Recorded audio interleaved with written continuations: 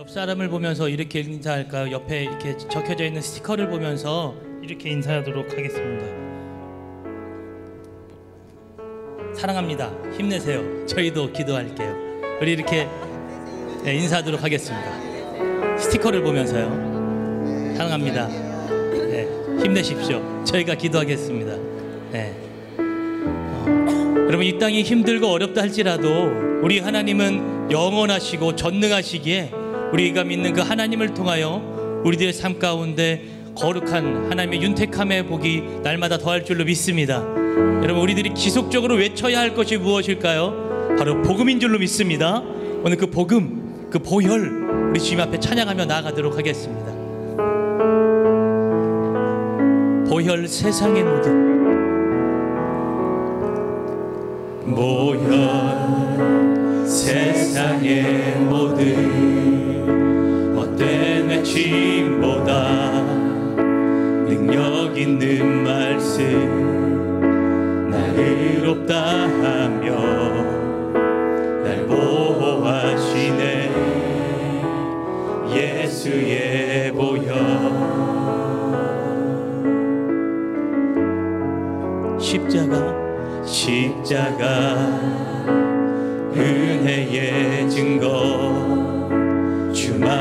알게 해 우리 길 되시네. 담대히 나가네. 세상 의지 않고 오직 주 보혈로. 우리 죄를 씻기고 우리 죄를 씻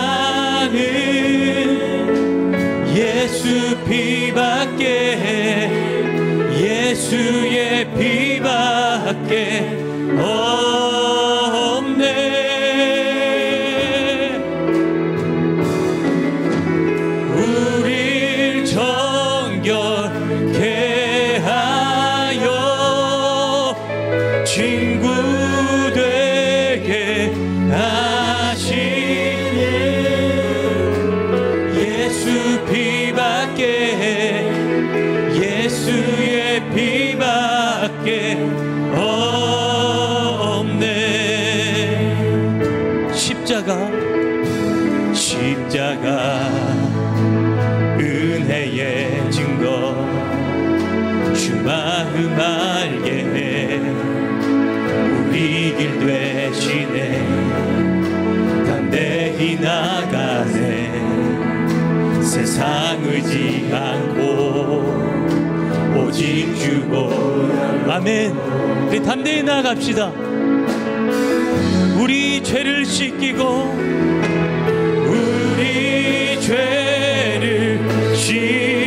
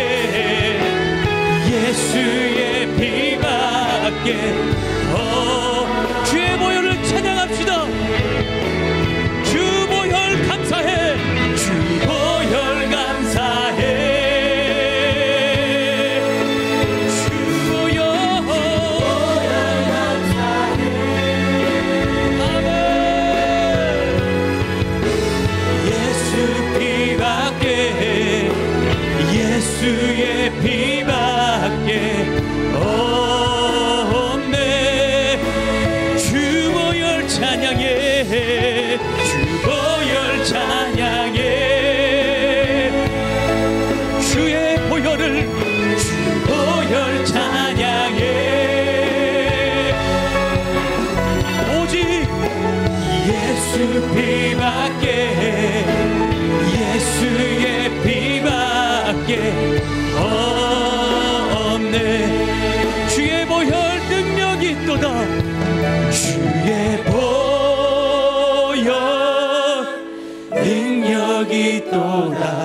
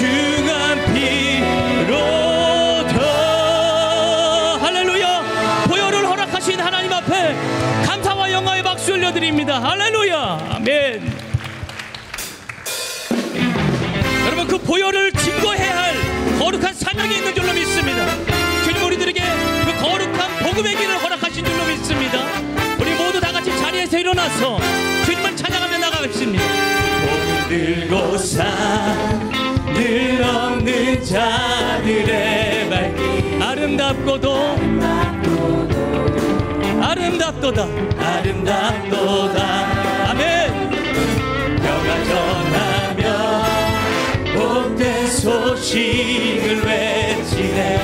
주님 주 다스리.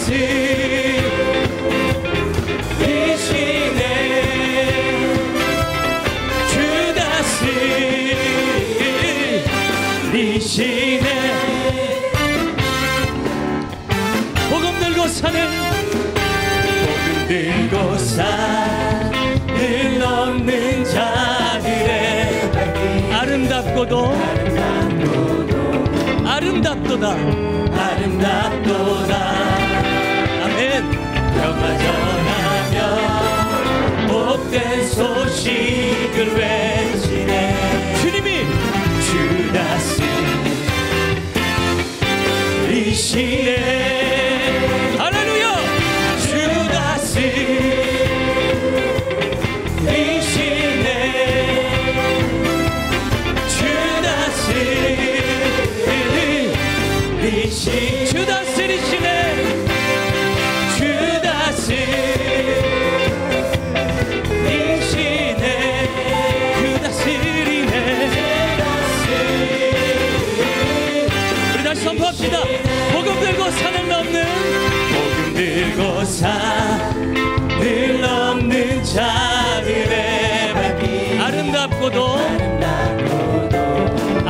아름답도다.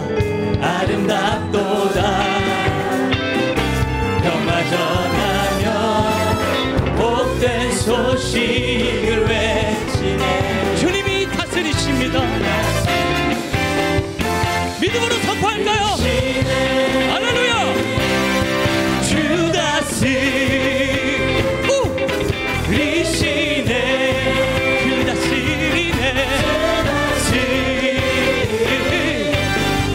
리시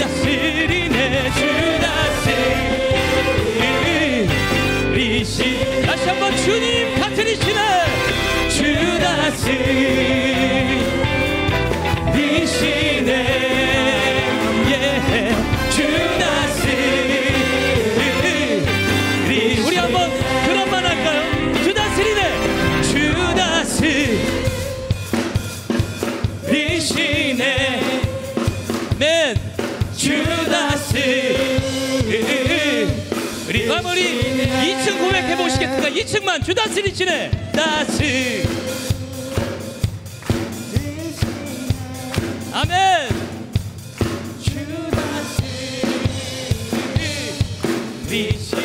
우리 이번에 아래층만 고백할게요. 주 다스리네. 주 다스 큰 소리로 선포하세요. 아멘. 주 다스 우리 이번에 호산나 찬양대 선포할까요? 주 다스리네. 오 리시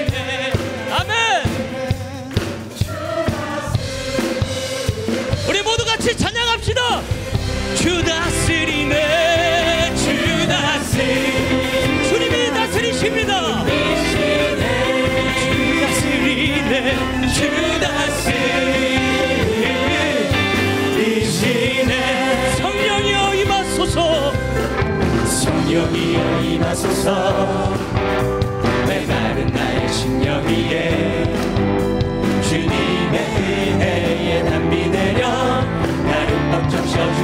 적셔주옵소서 주의 권세 주의 능력. 지금 이 시간 지금 이 시간 임하셔서 악한 권세를 악한 권세 모두 깨뜨리고 주님 나라 임하소서. 영광 영광 할렐루야. 예수의 그 피가 내게 승리 주네. 구원이 되시네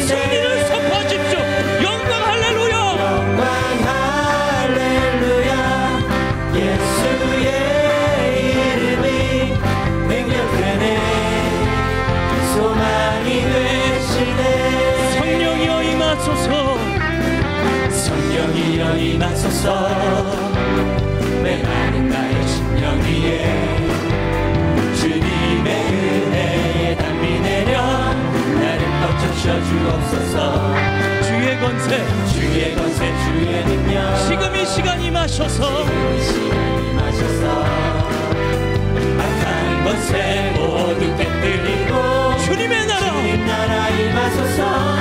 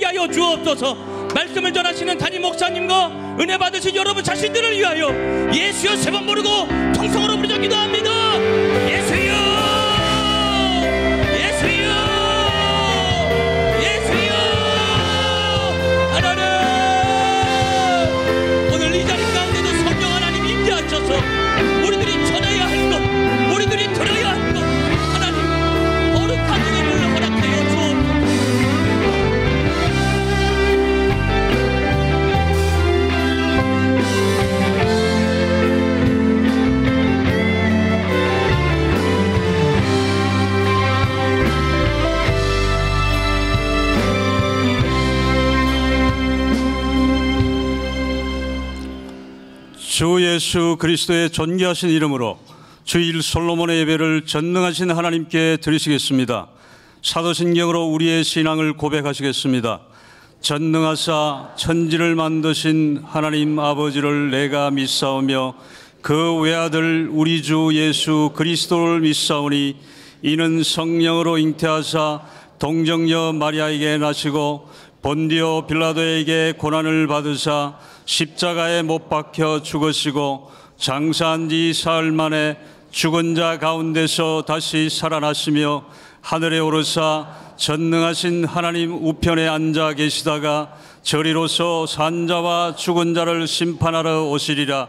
성령을 믿사오며 거룩한 교회와 성도가 서로 교통하는 것과 죄를 사하여 주시는 것과 몸이 다시 사는 것과 영원히 사는 것을 믿사옵나이다. 아멘.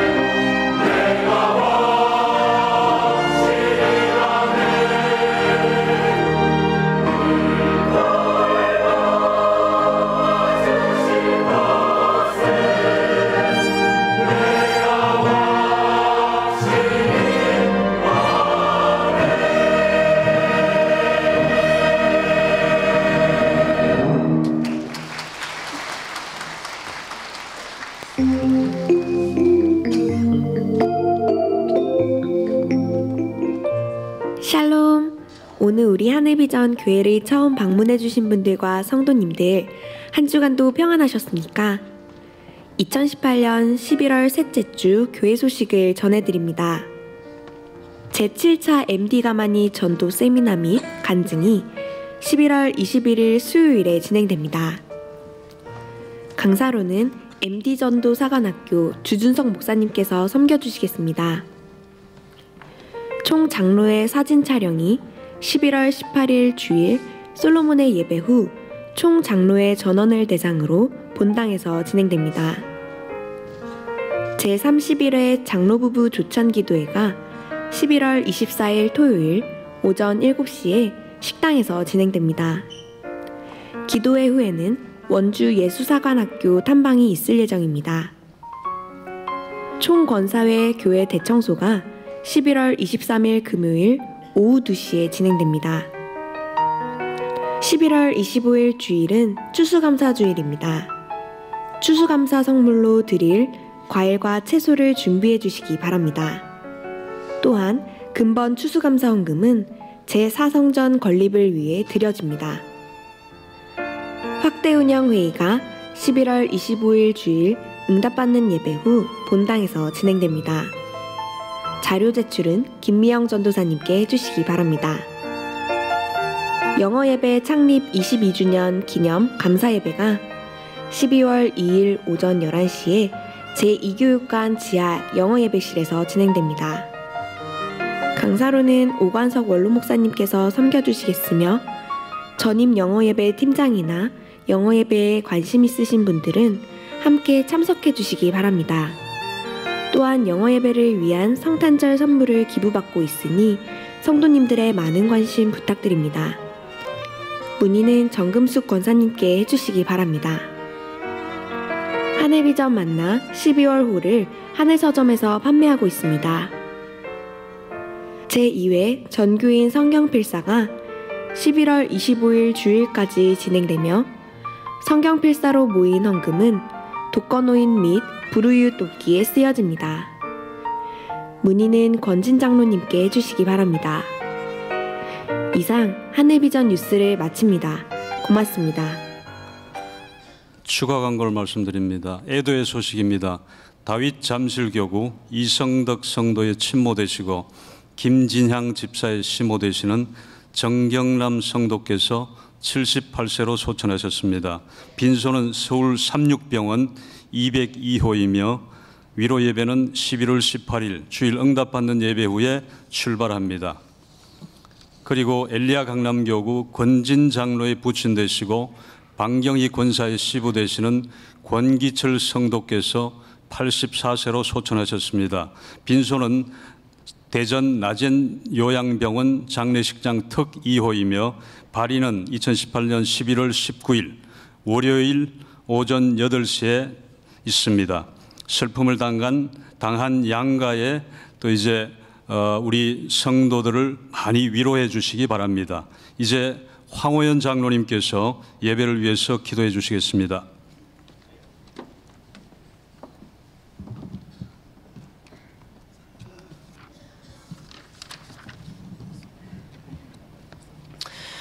할렐루야 사랑과 은혜가 풍성하신 하나님 아버지 올 한 해 동안도 우리를 눈동자같이 지켜주고 보살펴 주심을 감사드립니다. 주님 말씀대로 살고자 했지만 말씀대로 살지 못한 죄를 용서하여 주옵소서. 이 시간 십자가의 보혈로 저희들을 깨끗게 씻어 주옵소서.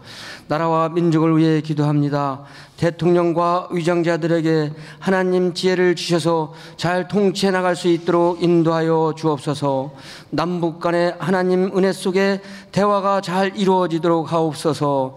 하나님, 하나님 아버지, 우리 하늘 비전 기회를 축복해 주시고 하나님을 기쁘시게 성도를 행복하게 믿음으로 인도해 주시니 감사합니다. 만나를 통하여 영성 있는 성도들 되게 하시옵고 이번 40일 특별 새벽 기도에 기도, 기도한 응, 제목 제목마다 응답하여 주옵소서. 영혼을 사랑하는 마음으로 전도에 힘쓴 우리 모두가 되게 하여 주옵소서. 우리가 기도하는 1만 성도와 1천대 주차장 확보와 일곱 군데 지성전 건립 잘 진행되게 하여 주옵소서. 우리 교회가 파견한 선교지마다 하나님 은혜 속에 말씀을 잘 전파하게 하옵소서 하늘 비전교회를 하늘 비전교회 영적 지도자이신 담임 목사님 영육간에 건강케 하시고 말씀을 증거하실 때마다 성령의 역사가 일어나게 하옵소서. 말씀을 듣는 성도님들에게 육의 사람이 영의 사람으로 변화받는 시간 되게 하옵소서. 원로 목사님 건강케 하시고 장수회복을 허락하여 주옵소서. 이 시간 찬양으로 영광 돌린 호산나 찬양대 찬양 기뻐 받아 주시옵고 말씀을 증거하신 목사님에게는 큰 힘이 되게 하시고 성도님들에게 마음의 문을 활짝 열어 은혜가 넘치게 하옵소서. 이 시간 예배를 위하여 봉사하는 손길 손길마다 한없는 은혜 내려 주옵소서. 존귀하신 예수님의 이름으로 기도드립니다. 아멘.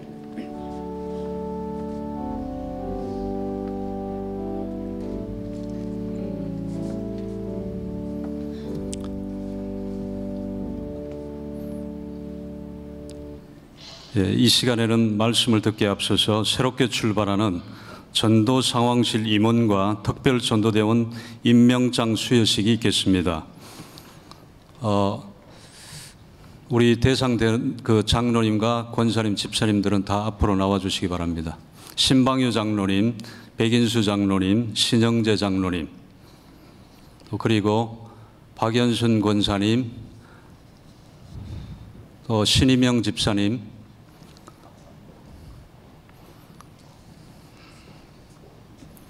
박경원 집사님, 손봉 집사님 뒤에서 이렇게. 순서대로 어, 임명장을 수여하겠습니다. 임명장 장로 신방유 위의 사람을 주님의 나라와 하늘 비전 교회 부흥을 위한 전도 상황 실장으로 임명합니다. 주 2018년 11월 18일 하늘 비전 교회 담임 목사 오영택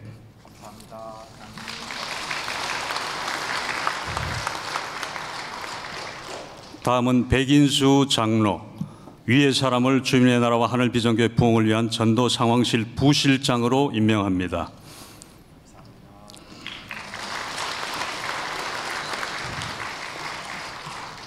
다음은 장로 신영재 내용은 위와 같습니다.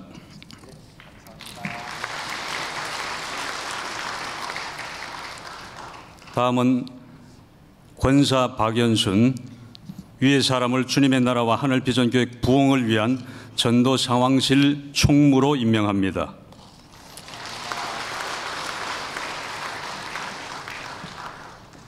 다음은 집, 어, 신희명 집사 내용은 위와 같습니다.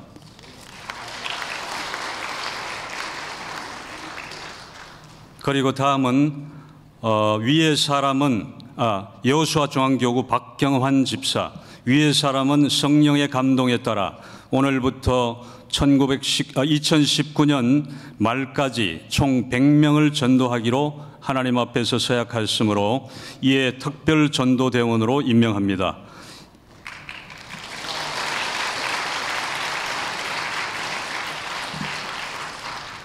다음은 손부홍 집사님 또 내용은 위와 같습니다.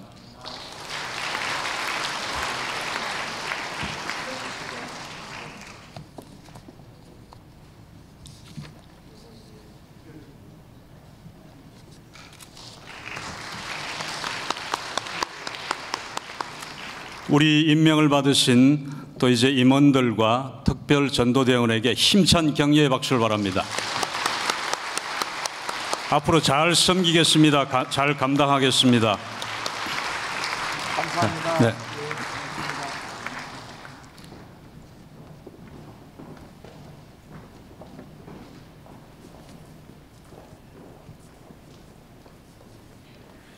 하나님의 말씀을 듣겠습니다.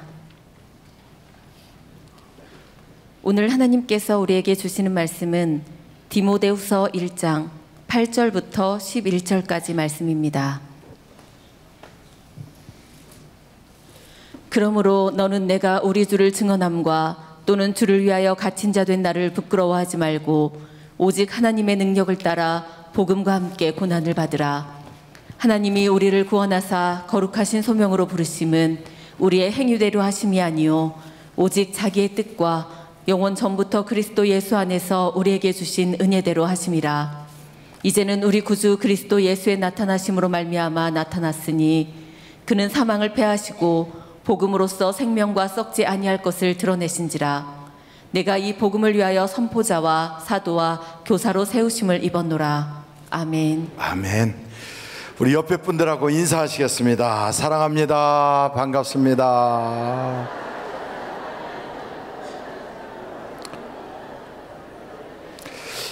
교회 예배 드리려고 들어오는데 어깨에다가 이런 거를 뭘 붙여주고 그러니까 기분이 좋을 수도 있지만 어떤 분은 뭐 이런 거 지저분한 걸 붙여주나 이런 생각이 들 수도 있을 거예요. 그것은 자기가 보라고 붙인 게 아니라 다른 사람이 이렇게 봐주라고 붙인 거니까 옆에 분이 한번 두 분씩 두 분씩 짝을 져서 그걸 한번 읽어주도록 하겠어요. 그분에게 읽어주겠습니다. 시작. 사랑합니다. 힘내세요. 저희가 기도하겠습니다. 아, 이게 그 말이구나. 뭐 한다는 얘기예요? 기도해 드리겠다는 얘기예요. 그러니까 목사님들이 서서 기도해 드리겠습니다 하는 마음을 목사님들끼리만 하지 말고 모든 성도들이 같이 기도해 드리겠다 하는 그런 마음을 서로 표현하면 좋겠다 하는 생각으로 여기다 이렇게 붙여봤어요. 그래서 어, 요즘 보면 저 세상 살기가 너무 어렵다 그러잖아요. 아이들도 출생하자마자 황사로 미세먼지로 대한민국에 괜히 태어났어 이런 생각할 만큼 애들이 고생 보통이 아니거든요. 그런데다가 경제적으로는 너무 힘들어서 정말 웃고 있지만 웃는 게 웃는 게 아니거든요. 아이들 또 시험 봤는데 수능 시험도 굉장히 어렵게 나왔다고 그러니까 비록 다 힘들다고 해도 성적이 옛날만큼 안 나오면 속상하거든요. 거기다가 또 가만히 생각해 보면 취업도 잘 안 되고 진학도 어렵고 세상 살기가 참 힘들어요. 그럴 때 여러분 사랑합니다. 힘내세요. 저희가 기도해 드리겠습니다. 그러면 교회라도 가서 이런 소리라도 들으니까 힘이 나잖아요. 그래서 그런 마음으로 이렇게 적어 봤어요. 한번 옆에 분들한테 한번 다시 한번 그걸 바라보면서 진짜 마음을 해서 마음으로 한번 그렇게 인사를 해 보겠어요. 시작. 사랑합니다. 힘내세요. 저희가 기도해 드리겠습니다. 이번에 다시 인사합니다. 저는 한다면 합니다. 예, 기도해 드리겠다고 말로만 그러고 기도 안 하는 것보다 기도해 드린다고 했으면 한 주간에 최소한 한 번 이상은 기도를 해 드려야 돼요. 한 번 이상은. 그래서 어, 따를 때 또 하면 잊어버리고 미뤄지니까 바로 이 시간 즉 각적으로 기도를 하겠어요.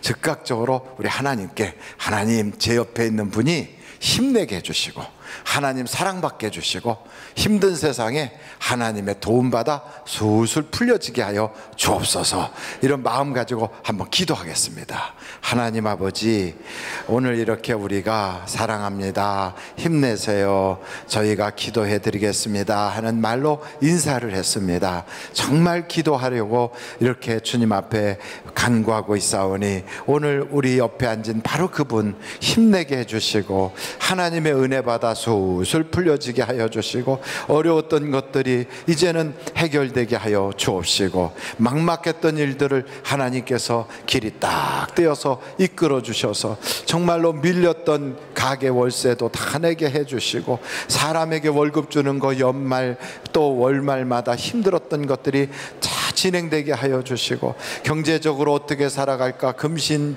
근심하고 염려하고 걱정하던 것들이 또한 아버지 하나님께서 두려워하지 마라. 내가 너와 함께 할 것이다라고 내가 너를 정령 도와주리라고 하신 그 말씀을 꽉 붙잡아서 해결해 나가게 하여 주시옵소서 묶여졌던 모든 재정 문제가 해결되고 풀려지게 하여 주시고 막혔던 것들이 열려지게 하여 주시고 사람 때문에 속덕, 속썩던 것이 이제는 사람 때문에 웃을 일이 생기게 하여 주시고 억지로 지금은 웃고 억지로 축하를 하고 억지로 인사를 했지만 나중에는 신바람이 나서 할 수 있는 여건도 허락하여 주시옵소서. 육신에 병든 것도 치료해 주시고 살기 어려웠던 문제들이 이제는 살기 편해지고 살맛이 나게 하여 주시고 초상집처럼 울며 지내던 것이 이제는 잔치집처럼 노래하며 살 수 있도록 역사하여 주시옵소서. 우리 사랑하는 모든 성도들에게 하나님의 은혜와 복이 넘쳐나게 하여 주시옵소서. 예수님의 이름으로 기도합니다. 아멘 어, 참그 오랜만에 우리 어, 우간다 아, 선교사님 김지영 선교사님이 오셨어요. 남편 대신 한희석 선교사님은 지금 캔자스 미조리주에 있는 미드웨스턴에서 이제 마저 공부를 다 마치고 성탄절 전쯤에서 오시게 되는데 잘 오셨다고 한번 박수 한번 보내주시기 바랍니다. 감사합니다. 어디 계세요? 예, 저기 계셨어요. 예, 감사합니다. 그리고 전도 상황실 현판식을 오늘 장로님들 어, 특별히 여기서 이제 어, 기념 촬영을 달력에 넣기 위해서 하거든요. 그거 끝나고 나서 바로 내려가서 현판식을 하려고 해요. 그래서 현판식에 여러분 많이 오셔서 그래도 박수 좀 쳐주시고 그러면 대단히 감사하겠고요. 오늘 어, 임명되신 분들 실장님부터 부실장님, 총무님들이 다 가서 같이 현판식을 하고 목사님들도 하시게 될 거예요. 그래서 전 전도 상황실에 전체 그 일을 앞으로 어, 실장님이 해 나가시지만 실장님을 도와서 상황실에 간사로 수고하실 분이 홍윤경 간사님이 그 일을 해 주시도록 할 것입니다. 여러분들이 계속 기도해 주시기를 에, 부탁을 합니다. 어, 요즘은 여러분 뉴스 보기가 참 겁이 나요. 막 여자가 남자한테 욕하다가 그 남자가 발길질해서 굴러 떨어져 가지고 병원에 입원했다. 야, 요즘 여자들 무서워요. 어우, 막 보통 무섭지 않아요. 그런데 또 그렇게 무서운 여자들 앞에 발길질하는 남자는 또 얼마나 무서워요.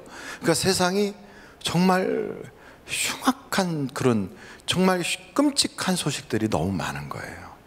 그리고 아이들이 막 어, 나갔다가 집에 들어오는 것을 봐야만 확실하지. 엄마 나 곧 들어갈게 해놓고는 안 와가지고 나중에 막 석촌호수에서 끄집어내고 막 그것도 이 동네예요, 이 동네. 얼마나 세상이 막 끔찍한지 그 뉴스를 보기가 겁이 나고 참 세상 사는 게 보통 힘든 게 아니에요. 그리고 갑자기 오지도 않던 전화가 삑 와서 부드러운 목소리로 여보세요. 그러면서 전화 받으면 아 그러면서 그러죠. 뭐 누구 누구 회원님, 뭐 누구 누구 무슨 어 뭐 선생님 뭐 이렇게 부르면 보나마나 낚이는 거잖아요. 그러니까 막 전화 받기도 겁나요. 그러니까 세상 살면서 참 쉽지 않구나.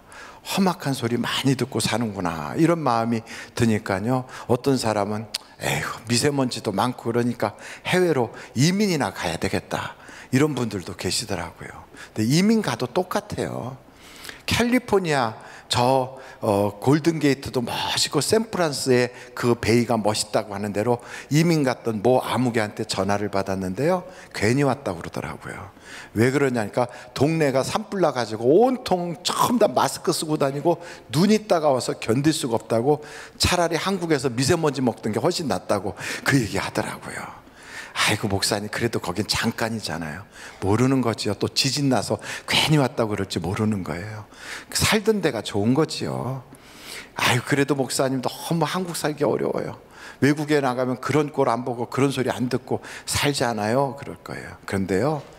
사실 외국에 나가도 거기도 똑같아요. 다 뉴스 들어보면 험악한 뉴스 많아요. 그런데 외국에 나가면 말이 안 통하니까 못 들어서 그런 거지.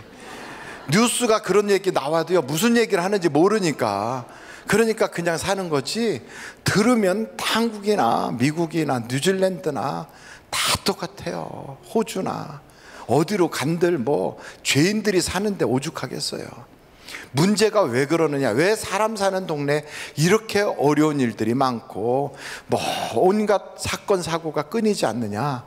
죄 때문에 그래, 죄. 죄인들이 살아서 그래요.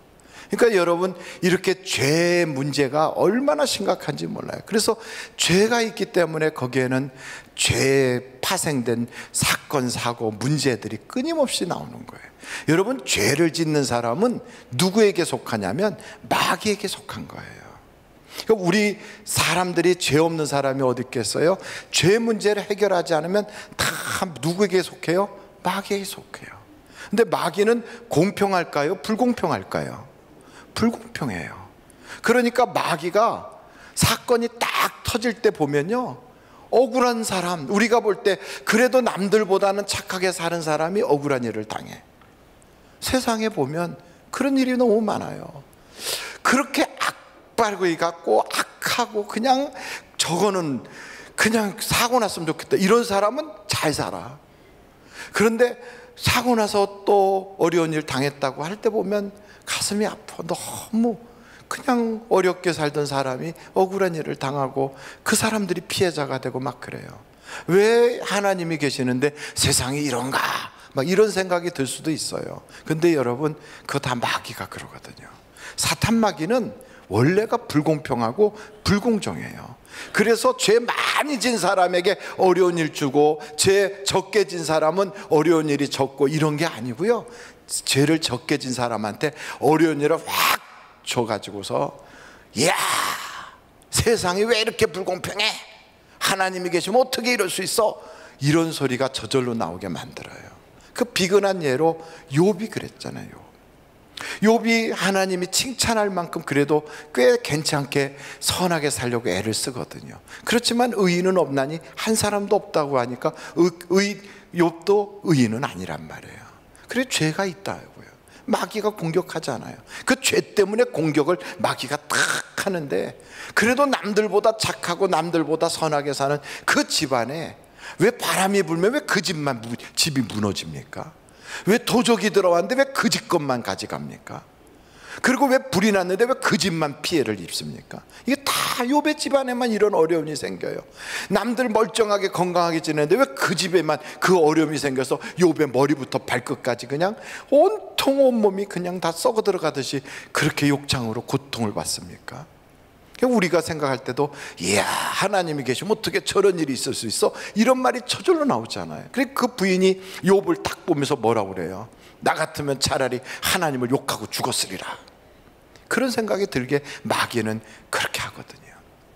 근데 여러분 보십시오. 죄를 짓는 사람들은요, 마귀에게 속해가지고 이 세상 살 때도 그렇게 고통을 겪지만 죽어서도 마귀가 끌려가는 지옥으로 같이 끌려가는 거예요. 더더군다나 억울한 건 이런 억울한 문제가 생겼을 때 하나님께 아무리 기도해도 죄에 속해 있는 사람, 죄인은 하나님에게 속한 사람이 아니라서 하나님이 그 기도 안 들어주세요.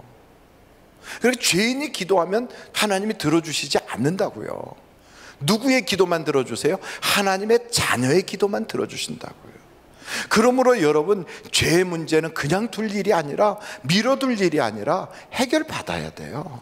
할렐루야. 그래서 그 죄 문제를 해결하는 방법이 어떻게 해결하는가? 이게 사람들의 관심 관심사라고요.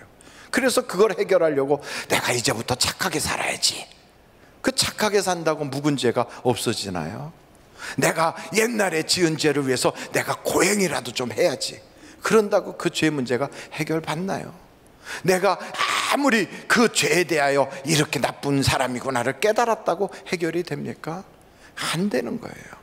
죄의 문제는 죄는 피로만이 씻길 수 있대요. 왜요? 죄의 싹은 사망이니까. 죄를 갚으려면 누군가가 죽어야 되는 거예요. 죄의 값은 사망이에요. 근데 그게 그냥 아무나 죽어줘선 되는 게 아니라 대신 죽어준다 해도 죄 없는 자가 죽어줘야 돼요. 그러니까 옛날에는 죄 없는 사람이 없으니까 짐승을 했다고요. 그래갖고 1년 된 아주 깨끗한 흠 없는 양 혹은 염소 이런 걸로 했다고요. 근데 그것은 짐승의 피 가지고 사람의 죄가 온전히 씻겨지겠습니까? 그래서 안 되니까 하나님께서 죄 없는 하나님의 아들 예수 그리스도를 이 땅에 사람의 모양으로 보내주셔서 그래서 우리를 위하여 그분이 십자가를 지시고 그분이 대신 물과 피를 다 쏟아서 우리의 죄를 씻어 주셨다고요. 그래서 예수님이 이 땅에 오신 것은 내 죄를 사하여 주시려고. 할렐루야. 이것이 바로 얼마나 큰 은혜인지. 그래서 그 피로 죄 씻음을 받은 사람은 이제 더 이상 죄의 저주가 끊어지고요. 더 이상 마귀와는 상관이 없고요. 더 이상 어둠의 권세에서는 풀려나서 빛의 자녀로 바뀌고 사탄의 권세에서 하나님의 자녀가 돼서 기도하면 하나님이 왜 그러니 하고 응답 주시고 두려운 일, 염려할 일, 걱정거리가 살다 보면 생기면 우리 주님이 두려워하지 마라. 내가 함께 할게. 놀라지 말라. 내가 너를 정령 도와주리라. 이렇게 약속해 주시는 말씀이 성경에 가득하다고요. 이걸 여러분 우리가 무슨 뚜렷하게 무슨 공로가 있거나 교회에 다니면서 뭐 업적을 쌓거나 내가 하나님께 특별한 무슨 일을 해서 그런 그 상 받을 일이 있어가지고 내가 이걸 받았다면 내가 자랑할 일이 있겠지만 이거 그런 게 하나도 없어요. 아무 공로 없는데 하나님이 나를 그렇게 놀라운 은혜로 구원받게 해주시고 예수 믿게 해주시고 그리고 하나님의 자녀가 되게 해주시고 죄를 사해 주셨다고요. 그래서 죄 사함 받은 이 모든 것은 하나님의 선물이요. 하나님의 은혜다 이 말이에요. 여러분 은혜와 선물을 거저 주는 거예요? 아니면 대가로 주시는 겁니까? 거저 주는 거예요. 근데 이걸 모르고요. 어떤 사람은 내가 믿었으니까 받은 거야. 이런 생각하는 분이 있어요. 그럼 믿음을 몰라서 그래요. 여러분 어떤 사람 나는 믿었고 너는 안 믿었잖아. 그 나는 믿었으니까 구원받고 너는 안 믿었으니까 지옥 가는 거야. 이렇게 생각하는 사람은 그 믿음이 자기의 자랑이 돼요. 내가 믿었다 이거죠. 근데 여러분 그 믿음도 하나님이 주신 건 걸 아십니까? 그 믿음도 하나님이 주신 거예요. 우리는 정말 알고 믿은 자들이 없어요. 하나님이 믿게 해주셨고요. 하나님이 믿을 수 있도록 우리에게 사람도 보내주시고, 우리에게 그런 믿음도 선물로 주시고, 그래서 구원해 주신 거예요. 그럼 아직 믿지 않고 있는 분들은 어떤 분들이냐? 장차 믿을 분들이에요. 그러므로 여러분, 우리가 생각해 보면, 절간에 다니는 스님, 우리가 생각할 때 어떤 분이에요? 저주받을 분 아니에요. 하나님의 자녀가 돼야 될 분이에요. 그리고 예수를 제대로 알지 못하는 술꾼. 그분도 장차 믿을 뿐이에요. 우리 주변에 이렇게 보면 악한 일을 하고 있는 사람, 그분도 하나님의 자녀로서 하나님께서 언젠간 부르실 뿐이에요. 그래서 우리가 주변에 이렇게 돌아보면 우리가 먼저 하나님의 은혜를 받고 하나님의 그 복된 소식을 들었으니 이것을 우리 혼자 꽉 독차지하면 이게 내 공로인 줄 알고 자랑할 거리가 아니라 하나님을 자랑해야 돼요. 그래서 성경에 보면요. 자기 믿음 자랑하지 말고 누구를 자랑해라고요? 하나님을 자랑해야 돼요.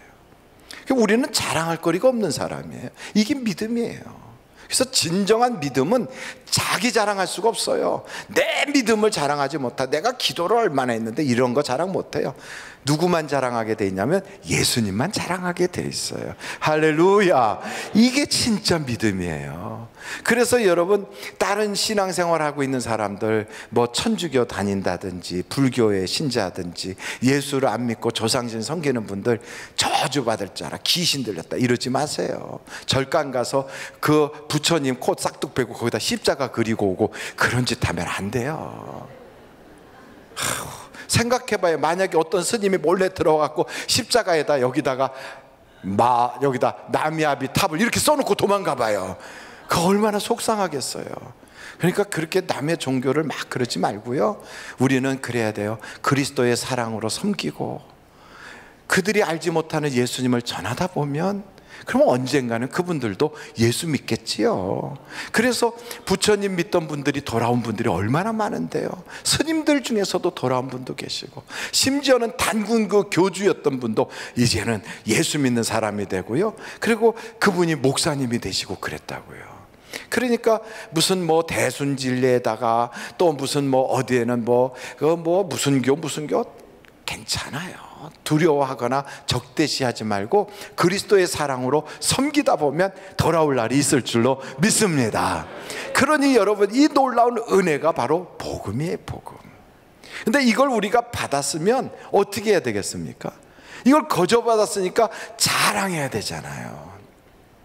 그래서 나가서 사람들 앞에서 나는 말이야 자격 없는데 이렇게 예수님이 나를 예수 믿게 해주셔서 기도하면 응답받아. 우리 아이가 그렇게 사춘기 심하게 심하게 그렇게 지나가던 아이인데 내가 기도했더니 하나님이 내 아이의 마음을 바로잡게 해주셨어 우리 교회에 세계적 인물 나오라고 막 기도하더니 정말로 세계적 인물들이 막 나오는 거야. 우리 교회 아무개 아무개 병들어서 정말 어려웠는데 하나님이 고쳐주셨어. 막 이런 간증들이 막 꼬리에 꼬리를 물고 나가면 얼마나 많은 사람들이 행복해 할까요? 여러분, 예수님 자랑할 수 있기를 간절히 바랍니다. 그래서 오늘 디모데 후서 한번 1장 8절 말씀을 같이 한번 보시겠습니까? 디모데 후서 1장 8절. 시작.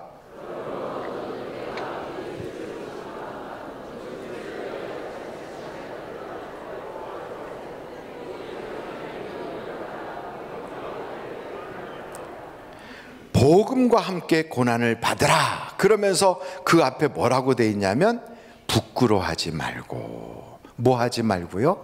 부끄러워. 한번 크게 말하겠어요. 부끄러워하지 말고. 여러분 예수님 부끄러워하는 사람들이 있어요. 하나님을 부끄러워해요. 예수 믿는 것을 부끄러워해요. 아니 예수님이 우리한테 무슨 실수를 그렇게 대단히 하셨다고 나가서 예수님을 부끄러워합니까? 예배당 안에서는 복 달라고 그러고 예배당 안에서는 그분을 사랑한다고 그러고 또 때로는 그분의 사랑 때문에 너무 감사하다고 눈물도 찔끔찔끔 흘리면서 밖에 딱 교회 밖에만 나가면 예수 안 믿는 척하고 다니고 예수님 부끄러워하고 그럼 예수님이 생각할 때 우리를 뭐라고 볼까요? 너는 왜 그렇게 앞뒤가 다르냐?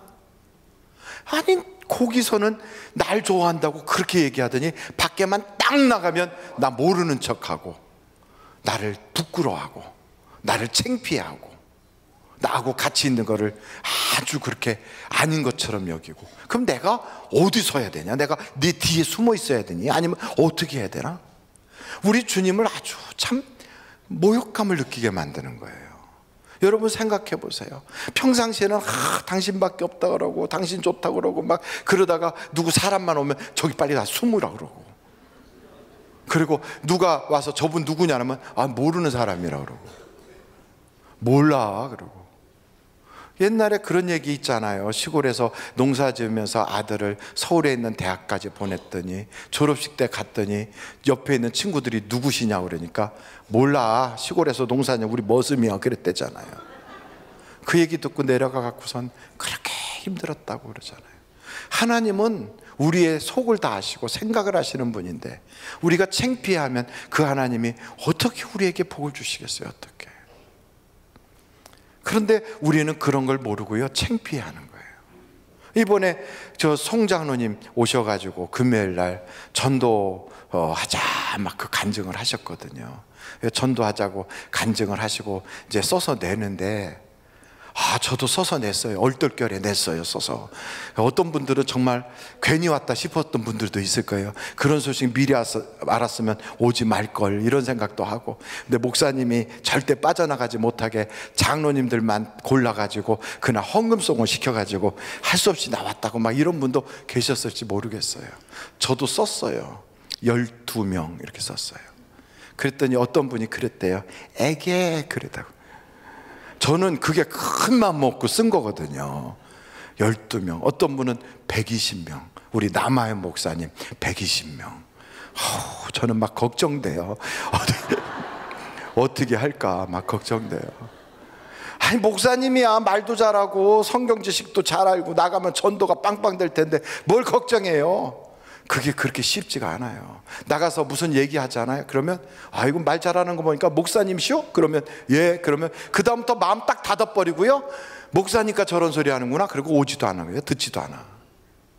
그런데 여러분 우리 남편은 무슨 회사 어디 다니고 있고 우리 애들은 어떻게 하는데요. 그러면서 얘기하면 형편과 처지가 비슷하니까 들어요. 목사가 전도하는 건 진짜 어렵거든. 그래서 너 남아의 목사님 걱정이 많았잖아요. 저 12명 적어놓고 얼마나 고민이 되는지. 어저께 제가 설교 준비를 하다가, 야, 12명이니까 한 달에 한 명씩 모시고 와야 되는데, 어떻게 모시고 오나. 친구들한테 가가지고, 야, 제발 좀 교회 가자. 그러면 평상시 아는 척도 안 하던 친구들이 너 무슨 일 있냐? 이러고서 별로 기뻐하지 않을 것 같더라고요. 전에도 친구들 한번 데려다 놨었거든요. 그 중에 남아있는 친구 한 명밖에 없어. 다 떨어지고.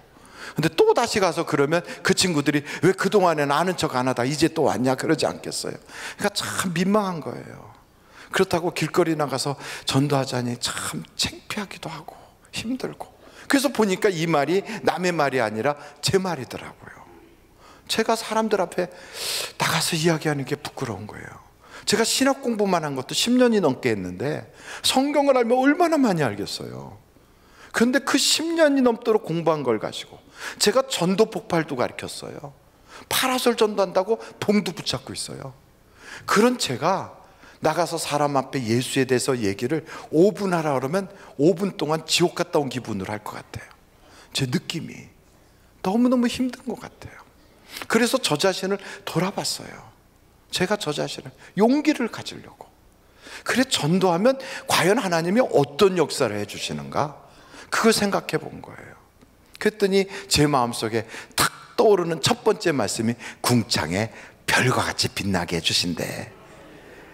그게 제 마음속에 딱 들, 아이고, 감사합니다. 근데 그건 죽어봐야 하는 거지요. 이 생각이 들어요. 그 두 번째는 글쎄 선지자 노릇하고 권능을 행하고 귀신을 쫓아내도 우리 주님이 난 널 몰라. 그리고 모른다고 한다는데 글쎄 사람들 앞에서 나를 시인하면 나도 아버지 앞에서 너를 안다고 시인한다. 아, 그렇구나.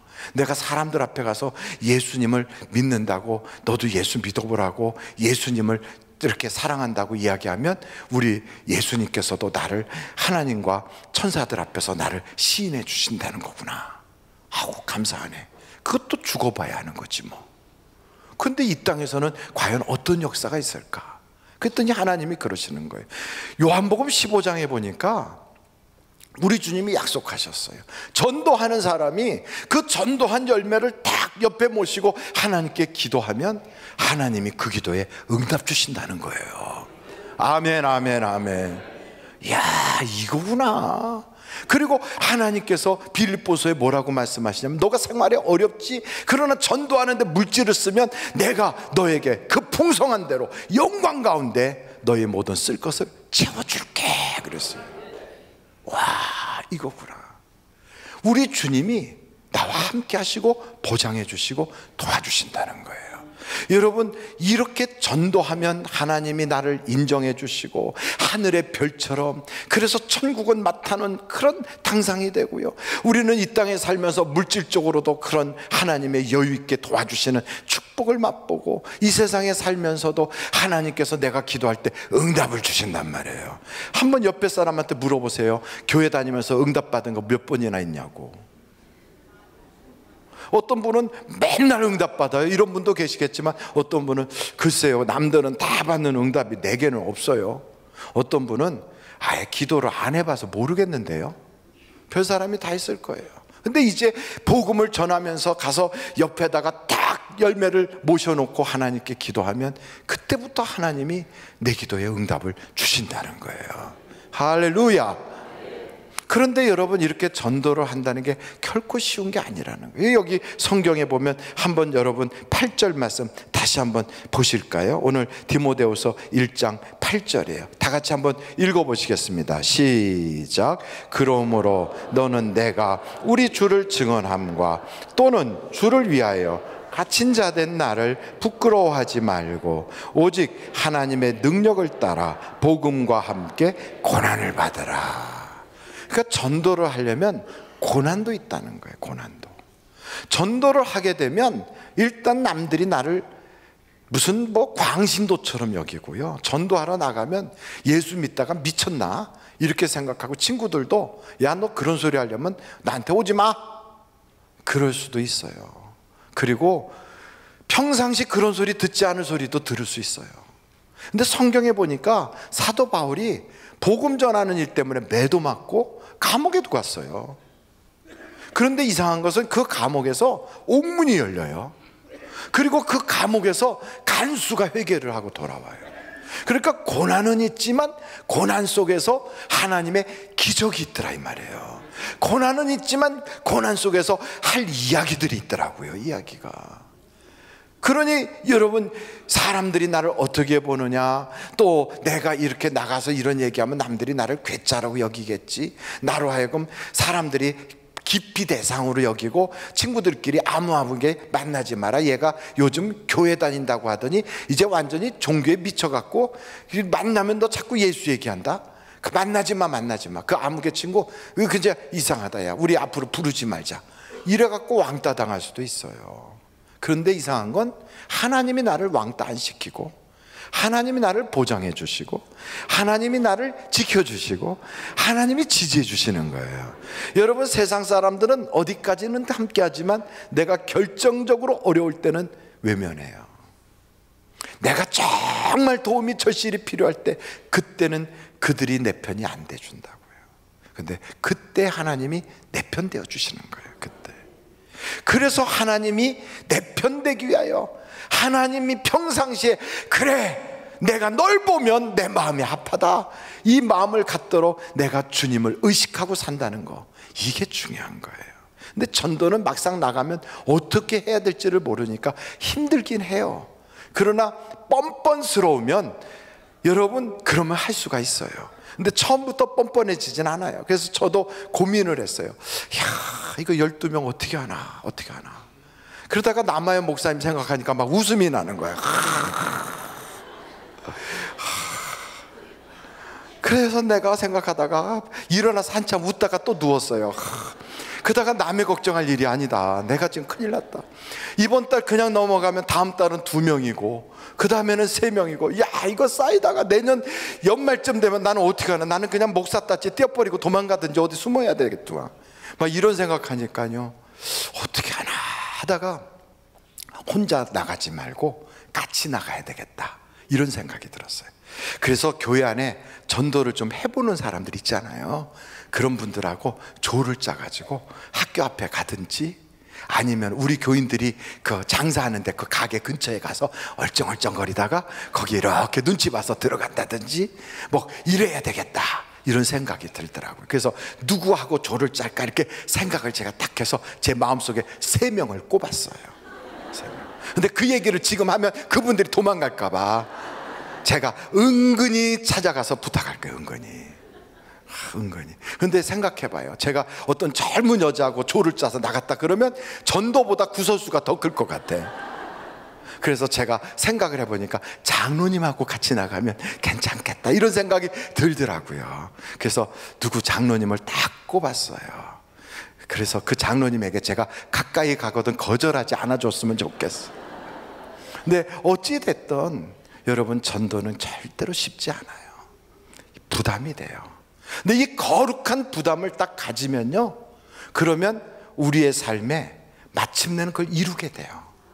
육신이 편한 쪽으로 계속 가면 평생 주님 앞에 한 것이 없게 돼요. 우리가 단체로도 해봤어요. 그래갖고 막 메리스라고 하는 질병이 유행할 때 우리가 나가자 해보자 일만성도 막 그러면서 온통 사진 찍고 막 나가봤어요. 다 같이 단체로 가는 건 부담이 적어요. 그래갖고 막 그냥 종이 돌리고 그리고 오뎅 갖다 나눠주고 그리고 뭔가 대견한 일을 한 것처럼 쓱 그리고 돌아올 때 단 한 명도 전도해 본 적이 안 되는 거죠. 모시고 나온 게 없었어요. 그런데 막상 제 이름을 걸고 몇 명을 딱 했더니 엄청 부담이 돼요. 엄청. 어후, 막 고민이 되는 거예요. 그런데 그러면서 한편으로는 이런 생각이 드는 거예요. 나중에 주님 앞에 섰을 때 할 말이 있겠구나.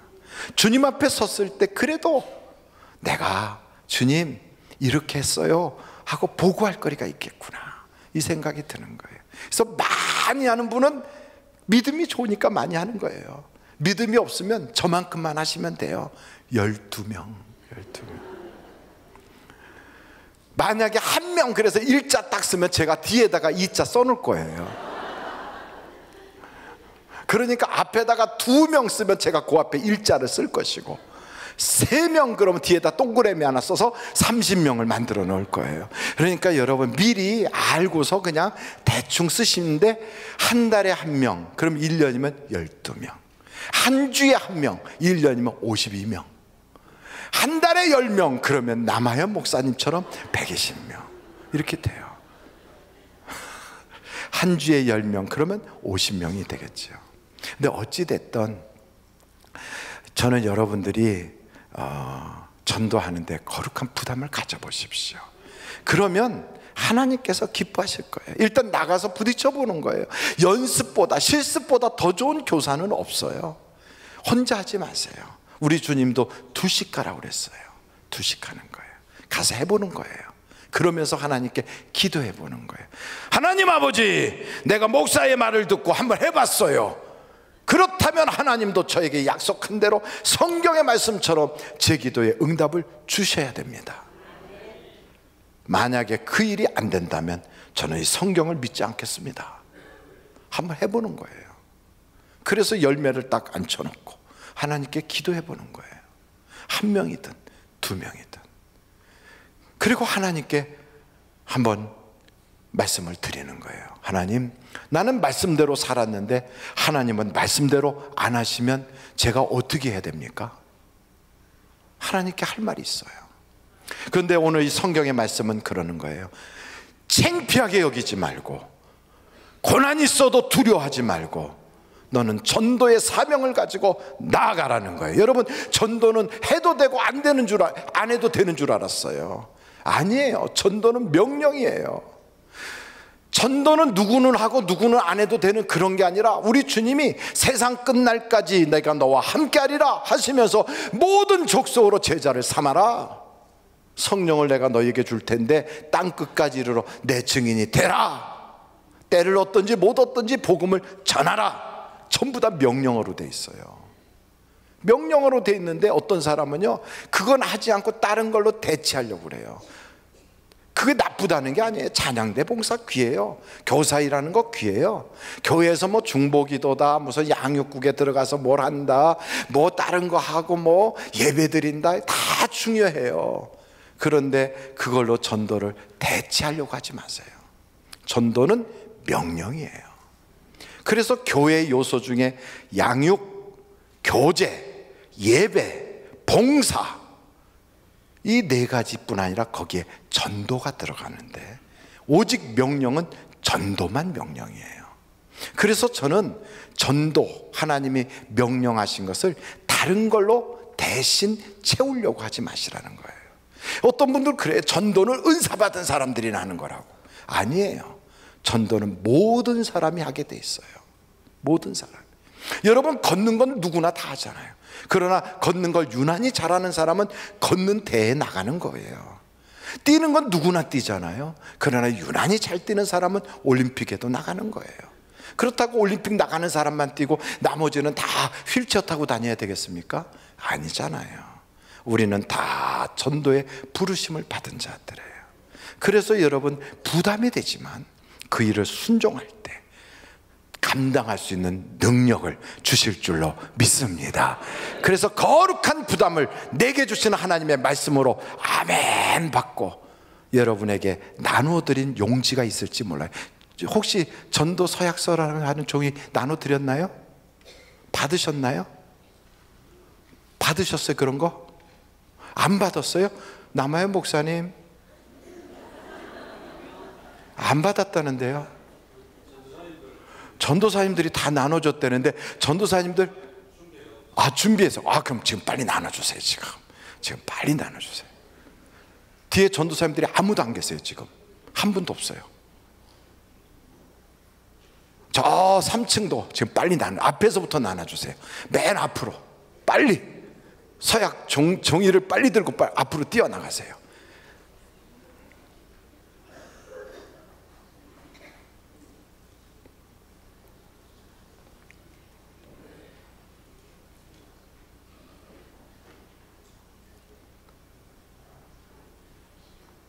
전도사님들이 오실 때까지 우리가 기도하는 시간을 갖도록 하겠어요. 우리 다 같이 예수여를 세 번 통성으로 한번 기도하겠습니다.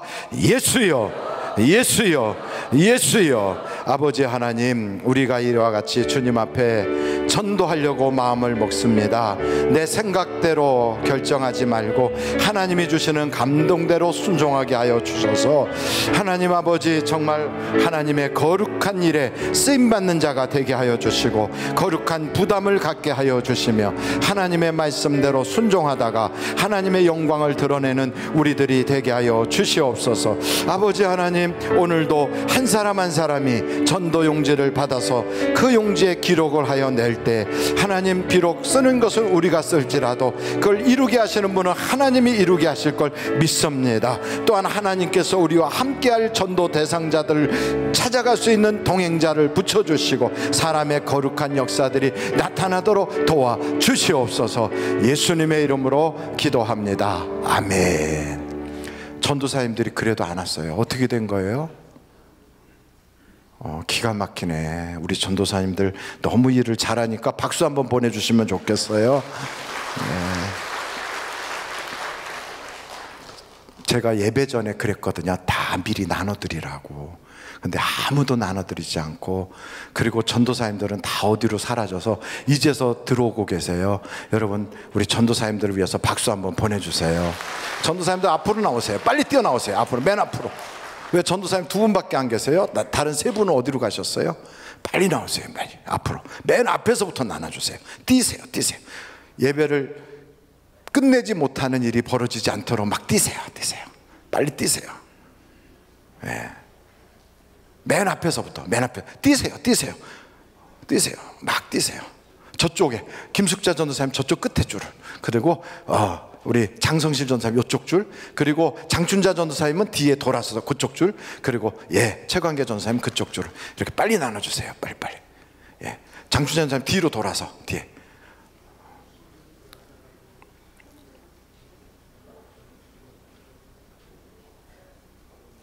3층은 아무도 안 가셨어요. 3층에는 안내위원들이 좀 할 수 있도록.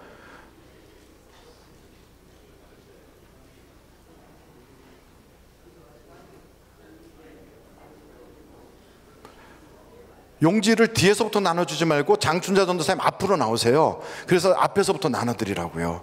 안 받으신 분들 손을 들어봐 주세요. 다 거의 다 안 받았잖아요. 봐요. 근데 뒤에서 그러고 있어 계시면 어떻게 해요? 앞에서부터 나눠주셔야지. 3층에도 지금 빨리 나눠주세요. 목사님들은 어디 가셨어요? 용지가 준비가 안 됐어요? 남의 목사님 어떻게 되셨어요? 용지가 준비가 안 됐어요?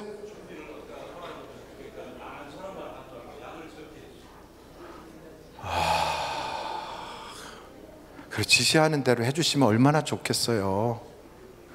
그참 순종이 별것 아니에요. 자기 생각대로 안 하는 게 순종이에요.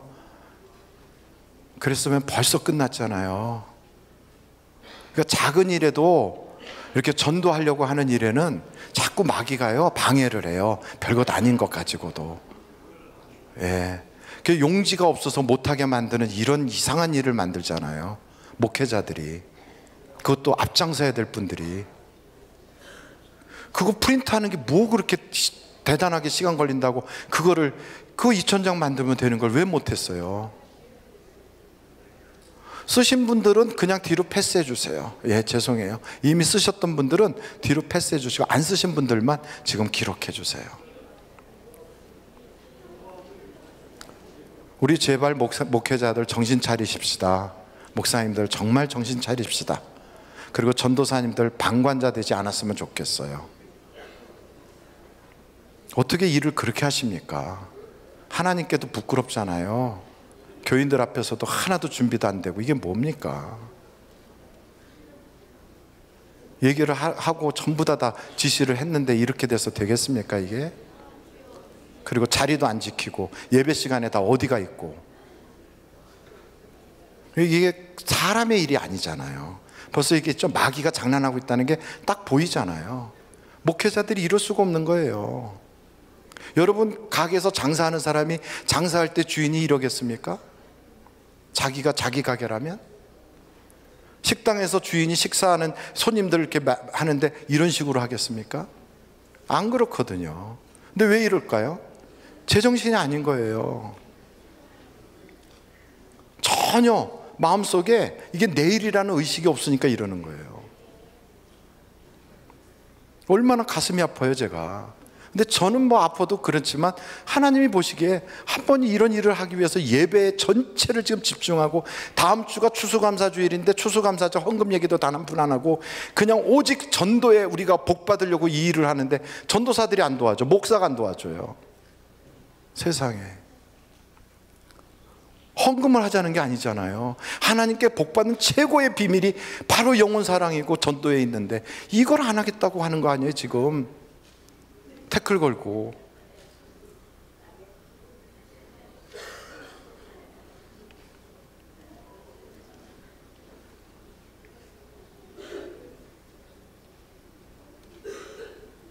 이거 프린트 복사해가지고 다 나눠주세요 했으면 들어올 때 다 나눠줬어야 되는데 그것도 준비 안 하고 예배 시간에 나눠줄 거라고 얘기했으면은 그러면 예배 시간에 자리를 자리라도 지켜야 되는데 어디 갔는지 사람을 찾아야 되고 말이에요.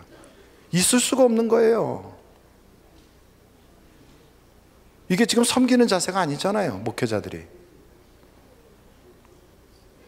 얼마나 어설픕니까, 이게. 목회자들이 야단 맞아야 되는데 괜히 성도들이 죄진 것처럼 고개 숙일 이유는 하나도 없어요. 이건 저부터 시작해서 우리 목회자들이 잘못한 겁니다. 정말 죄송합니다. 정말로 죄송합니다. 거기에 한번 여러분 하나님께 감동되는 대로 한번 기록을 해주세요. 그리고 기록을 하고요. 이따가 봉헌할 때 헌금함에 같이 넣어주시면 되겠어요. 한번 다 기록하시고 펜이 없는 분들은 손을 들어주시면 전도사님들이 펜을 갖다가 드릴 거예요.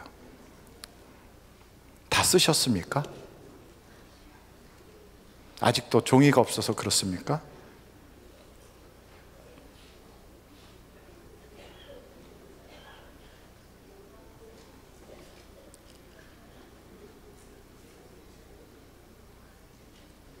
용지를 못 받으신 분 손 들어 보세요. 예, 이 앞에도 못 받으셨어요. 정영은 장로님한테 지금 갖다 드리세요. 빨리 뛰어가서 드리세요. 또 용지 못 받으신 분. 아마 사무실이나 여기도 지금 엄청 앉아서 아이들과 예배 드릴 텐데 거기도 한 종이 종이 하나도 안 갔을 거예요. 우리 목회자들 정말 통곡하고 회개해야 돼요. 건성으로 앉아서 그러지 마세요. 성도님들은 세상에 나가서요. 정말로 고통받으면서 고생하면서 물질 모아서 그것 11조 떼고 거기 헌금 떼고 그래서 교회 헌금하면 거기서 살해받는 게 목사예요.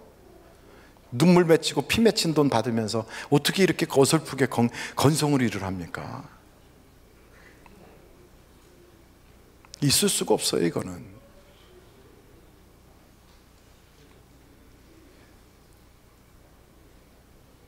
기도하시겠습니다.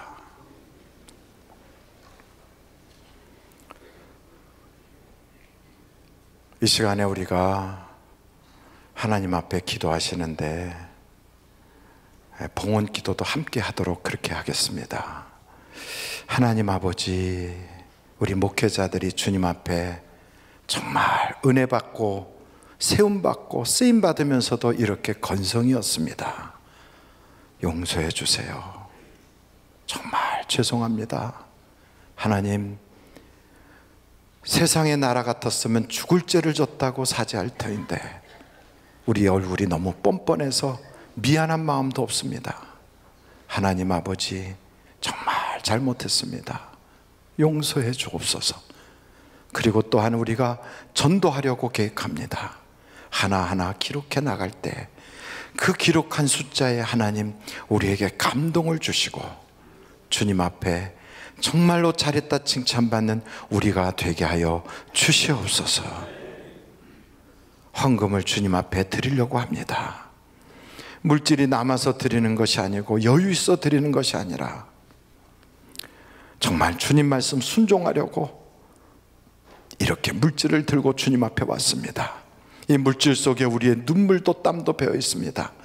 주여, 물질 드리는 손길을 꽉 붙잡아 주시고 부족함이 없게 하여 주시고 기도의 제목마다 응답하여 주시옵소서.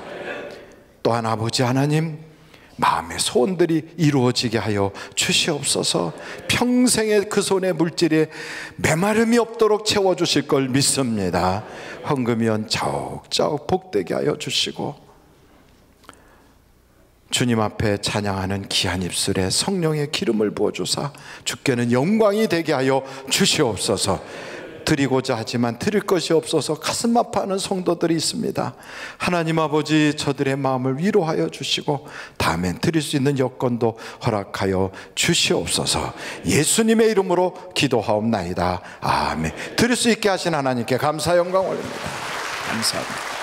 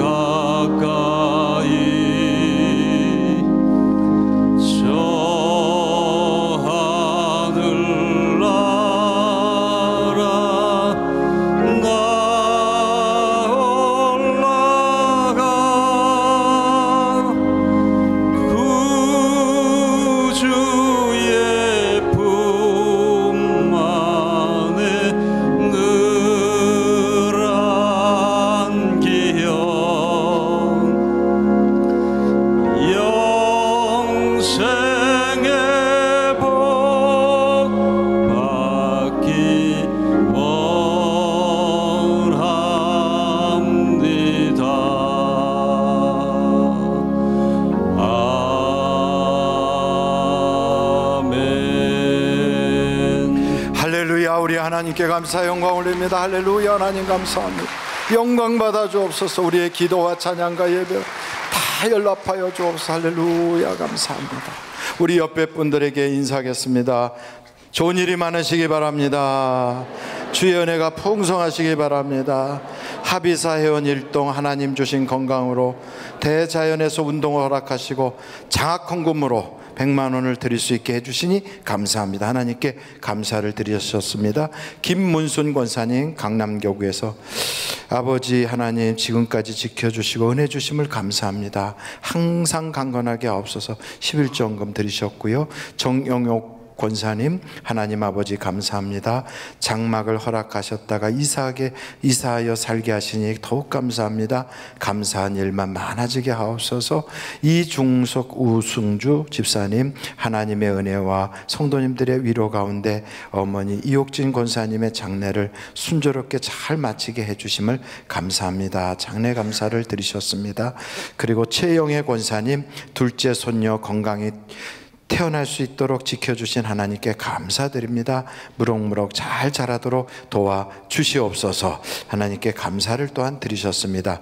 오늘 어, 오사마 미우라 씨 일본 요코하마에서 오신 분이에요. 또 광비영님, 어, 또 그리고 김백전님, 김백전님, 최미화님, 박순연님, 그리고 김찬우님, 김광우님 이상의 분들이 오늘 새롭게 결심하셨습니다. 예수님의 이름으로 환영합니다. 감사합니다. 감사합니다. 오늘 결심하신 분들은 예배가 마쳐지면 1층에서 어, 잠시 저를 만나보고 돌아가 주시면 대단히 감사하겠습니다. 그리고 예배 끝나면 장로님들 빨리 올라- 올라오셔서 기념사진을 촬영하도록 그렇게 하겠습니다. 기도하시겠습니다. 지금은 우리 주 예수 그리스도의 은혜와 하나님 아버님의 극진하신 사랑과 성령님의 감동, 감화, 위로 내주 충만하신 역사가 우리 성도님들이 주님 앞에 드리는 간절한 기도와 소원과 그리고 예배의 찬양이 황소를 드림과 같게 하여 주셔서 하나님의 응답을 받아 일주일 내내 좋은 일만 계속되게 하여 주시기를 예수님의 이름으로 간절히 축원하옵나이다. 아멘.